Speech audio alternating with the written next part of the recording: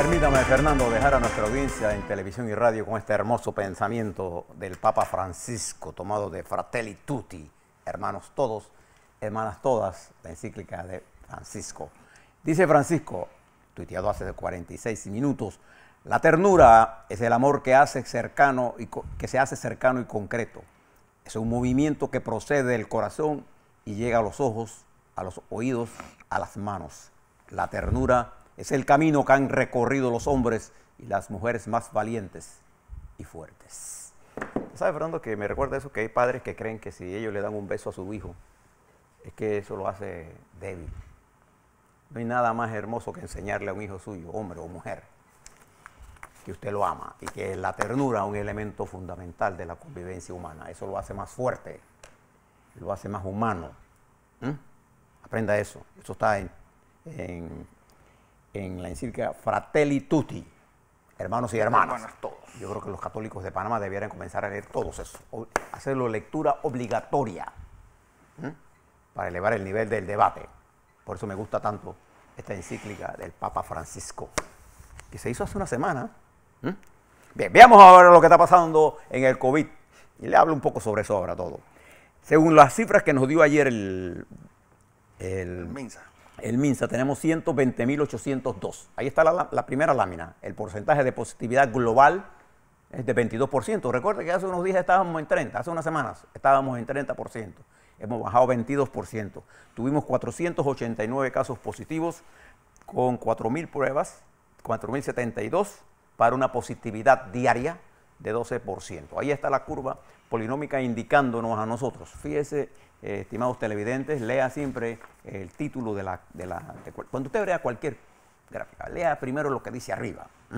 Comportamiento del incremento en casos de COVID. Y fíjese que hay tres curvas. La curva lineal, que tiene un R cuadrado de 1.99, es decir, ya la, curva no me está explicando ni la tendencia, fíjese que está aplanándose. Eh, la curva polinómica es de 0.80 y la, la, curva exponencial es de 0.32, la que me explica con mayor precisión lo que está ocurriendo es la, el R cuadrado. El, R cuadrado es un eh, eh, cálculo matemático que me da a mí el grado de certeza eh, que tenga los números que yo estoy dando. Fíjese que está indicando que nosotros estamos por debajo de la, de la tendencia rectilínea, lo que quiere decir que nosotros tenemos la pandemia hoy bajo control. La siguiente curva, la razón por la que uno hace medidas de, mitigación, cosas que se ha negado por el, gobierno de los Estados Unidos, que ellos dicen que, y hay mucha gente que comienza a decir, cuando usted lea la OMS, lea todo el texto, no lea la noticia. ¿ah?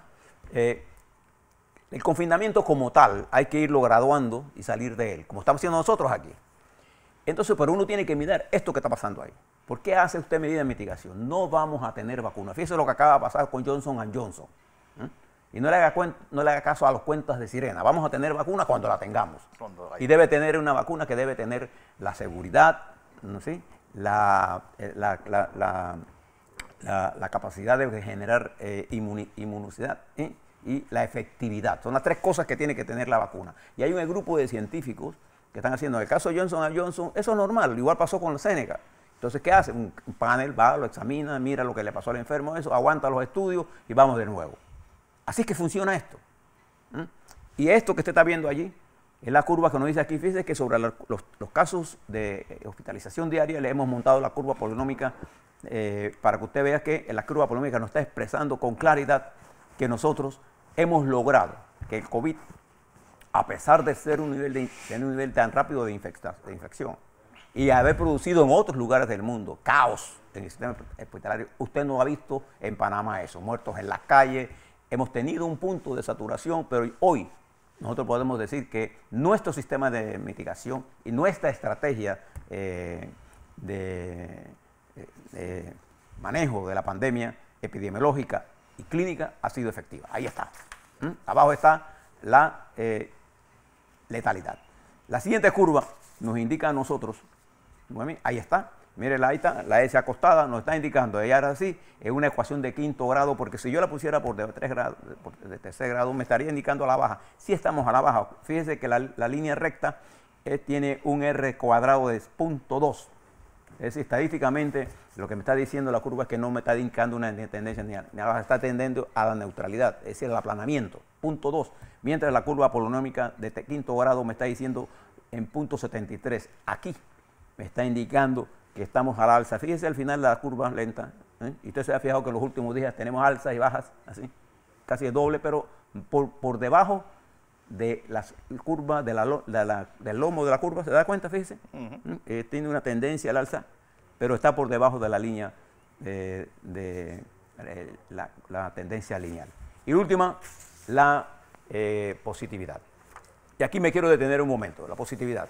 Recuerde que hay formas de medirlo y medirlo. Entonces hay gente que, se, que le produce a usted resultados del total. Yo siempre hago el análisis global pero para efectos de mi análisis, de entender lo que está ocurriendo, yo lo fragmento. En términos generales, nosotros tenemos una positividad alta, 22%, pero cuando yo miro la positividad en términos de la población, se ha venido produciendo una reducción a tal punto que si usted ve la última medición, la, positividad, eh, los casos nuevos por millón de habitantes es de 114, el equivalente a 11.4 por 100 mil habitantes. En Europa, cuando usted pasa de 20, usted está en, el límite de fuera de control de la pandemia. La mayoría de los países que la tienen controlada están por debajo de 15. En, Alemania estaba en 18, 19 ayer. Está acercando al 20 y subiendo. Nosotros vamos hacia abajo. ¿Eso qué nos está indicando nosotros? Que en términos generales, ¿eh? con estas curvas que les he mostrado en el día de hoy, usted puede decir, sin temor a equivocarse, que nosotros hemos mejorado sustancialmente los indicadores de salud con respecto a lo que tenemos en el pasado, tenemos mejor capacidad de atender a los pacientes, bajar la, mortalidad, tenemos mejores tratamientos, hemos logrado una mejor estrategia epidemiológica que nos permite a nosotros no solamente mantener las pruebas, sino la trazabilidad.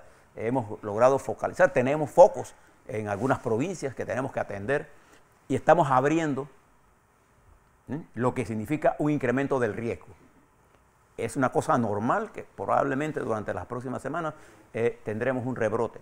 Cuán sea ese rebrote va a depender de todos nosotros. Sin embargo, lo que sí puede decirle es que lo que hemos hecho hoy, todos los panameños, panameñas y el gobierno y la fuerza, todos, es que hemos logrado mantener indicadores que nos permiten a nosotros eh, tener disponibilidad de nuestros servicios médicos. Y hemos logrado eh, el, proceso de apertura. ¿Esa apertura va a resolver el problema económico? No. Pero ahí están los números. Vamos a esperar qué nos dice el Ministerio de Salud. Entiendo que una de las cosas que van a mirar es este problema de las playas que tanto preocupa a la gente. Bien, pero yo le voy a decir algo que más le preocupa a la gente que a la playa. Yo creo que lo que más le preocupa a la gente, señor presidente de la República, el señor ministro de Economía, el señor ministro de, la, Salud. de Salud, señor ministro de la Presidencia, señora ministra de, de Desarrollo Social. He oído muy poco a la ministra. Es un ministerio que debía estar más activo, porque el peso de esto lo llevan nuestros jóvenes. El desempleo y la inseguridad ciudadana son dos elementos fundamentales que tenemos que prestarle atención. Y esto tiene que ver mucho, y hay un tercer elemento que tenemos que prestarle atención, a los jubilados. ¿Por qué? en la estructura nuestra, cuando una persona se jubila y no tiene una preparación técnica en que el mercado lo pueda necesitar, no importa la edad que tenga, entonces ese hombre y esa mujer está condenado a tener un salario que va declinando su capacidad adquisitiva año tras año, porque nuestras pensiones no están indexadas, es decir, no están actualizadas con respecto a la inflación. Y al, al que tenga 20 años o 10 años de, ¿Está jubilado? De, jubilado y tiene un salario de 500 dólares. No, él quiere decir que él está jubilado con el salario que ya ganaba en 1970, hace 50 años, con lo cual no se puede vivir. Por eso que las jubilaciones, el gran dilema de las jubilaciones es cómo yo vivo con el salario que voy a tener hoy dentro de 30 años. Sí, pero en términos generales, como no está indexada la, la, la pensión, eso es una clase nueva de pobres. Entonces nosotros tenemos que mirar allí, porque ahora a la vez desempleo hay que mirar el programa de invalidez, vejez y muerte. Y el problema de desempleo. Y el problema de seguridad. Y yo les pregunto, ¿hay alguna forma de enfrentar esto sin una unidad nacional sobre temas específicos que tenemos que desarrollar? Es posible en un país que tiene tantas, tiene, tiene tantas oportunidades de jugar un papel importante en el mundo que se desarrolla, que viene. Y si nosotros no lo hacemos, nos van a imponer algunos, algunos modelos que no necesariamente coinciden con los intereses nacionales. Y aparte de eso, tenemos otro problema de bolsón, de pobreza y de pobreza extrema que se ha incrementado por la caída de nuestra economía, que ha generado menos riqueza. Y al menos riqueza, los pobres se sienten más pobres. Los ricos serán siempre ricos. Si usted tiene 100 millones de dólares y le baja a 50, usted sigue siendo multimillonario. Pero si yo tengo 500 dólares y me baja a 200, sigo, ahora estoy en el nivel de la pobreza extrema. No me da ni para comer. Entonces, la pobreza, unida al desempleo, la seguridad y el IBM son temas que requieren un tratamiento urgente en este momento. Y lo voy a tratar uno por uno. En el IBM, por ejemplo, es el programa más eh, sensitivo de la Caja de Seguro Social, igual que el siguiente programa más visible de la Caja de Seguro Social, que es el de enfermedad, el de maternidad y enfermedad, requiere dos reformas importantes. Uno, el de maternidad y enfermedad, requiere el manejo de las medicinas. Fíjese que nosotros estamos comprando, cuando no hay en la Caja de Seguro Social, ¿qué hace usted cuando tiene una, tiene que comprarla de todas maneras? Y los precios en las farmacias son exorbitantes. Y eso pone presión sobre el sector más pobre, el que se está empobreciendo todos los años, porque con el mismo salario tiene que vivir más años, que ese salario no le alcanza cada día menos ni para comer, ni menos para comprar medicina. Entonces, ese es un problema que tiene que mirar la caja. El otro problema urgente, quizás el más urgente que este, es el IBM. Y el IBM, en los números que yo tengo, eh, indican que el, el programa de Solidaridad, que se llama así, que es el programa que menos le ingresa a gente porque es, el, programa de la gente que ya de un, determinado nivel ya no entra más cotizantes. Y ahí el, programa de reparto puro, cuando se dividió esto, lo que hicimos fue dejar al programa de solidaridad sin fondos. Eso lo sabíamos. Condenado a, a morir. Y entonces nosotros tenemos que tomar una decisión estratégica. Fundir ambos programas podría ser una opción y eso le da liquidez al sistema inmediatamente por unos par, cinco años. Entonces hay mucha gente que le gusta hablar, bueno, subimos la cuota, subimos la edad de jubilación. Yo les quiero decir, cuando usted trate de, de inveladez, vejez y muerte, entienda el estado de ánimo del país, primero antes de hablar de reforma. El estado de ánimo del país. Olvídese de los influencers, de, los que hablan tontería todos los días.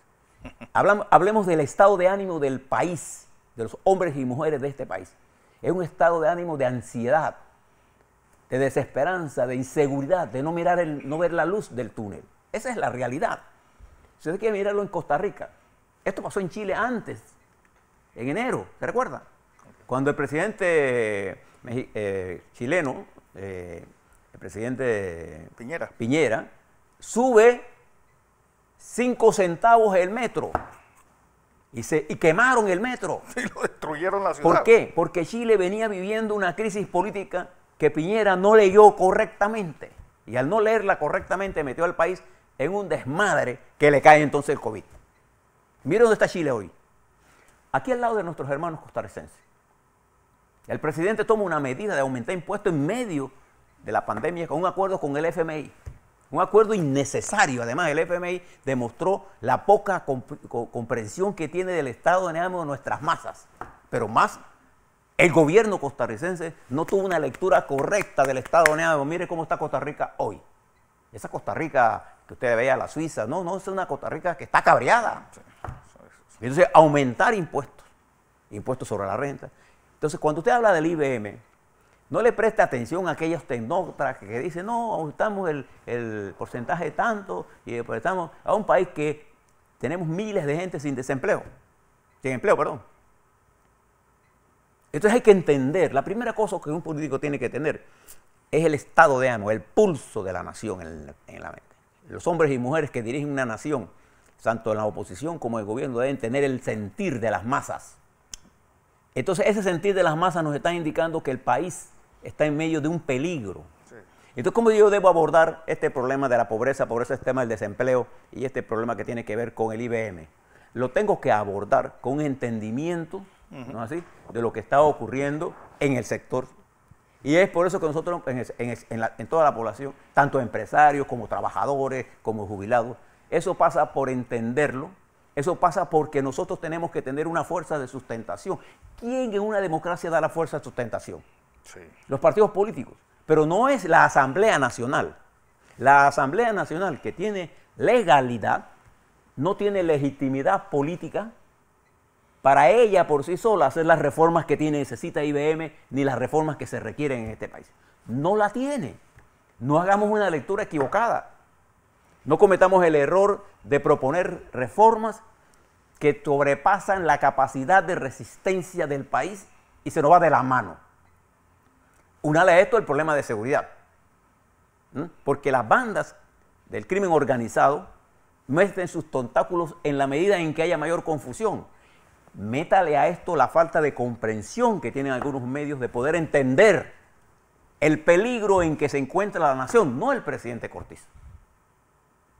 El presidente Cortiz tiene que llamar a un, concurso de fuerzas para poder enfrentar esto. Claro que hay que hacerlo. Pero también toda esa gente que tú pasas todo el día tuiteando o diciendo glosas o haciendo bochinche o regañando o acusando o sacando videos familiares o todas esas cosas, lo que están haciendo es rompiendo la capacidad de entender. Por eso le leí este pensamiento del Papa Francisco al inicio de este segmento. Piénselo. Tenemos que meterle la mano al IBM, pero no solo podemos meter en creyendo de que, bueno, esto lo vamos a pasar en la Asamblea. No, no, no, no. La Asamblea no tiene la capacidad blindada para pasar esta ley. Pero no podemos demorarnos. Tampoco tenemos, podemos demorar, por ejemplo, el problema del desempleo. ¿Qué es lo que pasa? Todavía estamos discutiendo si le pagan o no le pagan a las empresas constructoras lo que le deben para que, empleen de una vez. Ah, no, que está en un juicio. Usted tiene que pagar. Lo que nosotros necesitamos es empleo para que se mueva la economía. De lo contrario, vamos a generar es desesperación, protestas y vamos a generar actividades ilegales. Eso es lo que va a pasar. Y para hacer eso, el señor presidente y su gobierno y la oposición deben entender que necesitamos una fuerza de sustentación para hacer los ajustes necesarios. Así es. Bueno.